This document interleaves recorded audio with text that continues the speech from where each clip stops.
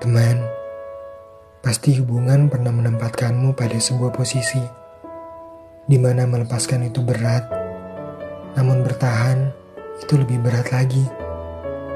Maka bukankah bahagia dan sedih adalah keputusan diri sendiri?